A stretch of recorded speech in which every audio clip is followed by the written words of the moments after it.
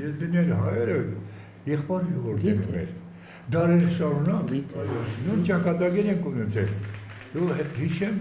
1828 թվականը միասին ենք եղել։ Հիշենք 1918 թվականը 600 տարիներ Իրաքի Իսայի մասում եզդիներ փրկեցին հայերին, եթե թողնենք։ Հիշենք որ Ջանգիր աղան իր զորքով 700 հոգով Ղարաբաղից մինչև Սարտարամար պատերազմել մեր ընդհանուր շտամին եւ մենք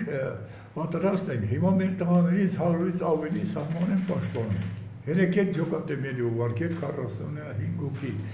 այսօր էլ մեր տղաներ պատրաստ են, բավը ես կայսօր կվերադառնամ հանրայության դեպքում ինչքան մարդ կան է եզդիների ցավակագրում ուղարկում։ Մարզերում գրանցված։ Մենք հա, մի խոսքում, ես այսօր շատ ուրախ եմ, որ հանդիպել ենք, բայց մի անգամ հանդիպելուց խաղաղ պայմաններում։ Տա Աստված, ուզում եմ ողջունել ձեզ եղբայրական եզդի ժողովրդին եւ ուզում եմ նաեւ նշել, որ շարժման տարիներից սկսված մինչև այսօր բոլոր մեր կարևոր պետականաշինության եւ այդ թվում պատերազմական իրավիճակներում եզդի եղբայրները եղել են մեզ հետ միասին։ Դրա համար մենք չենք տարբերում, սա մեր հայրենիքն է եւ դրա համար ինձ համար անակնկալ չէ եւ զարմանք չի բերել, որ ինձ ասել են դուք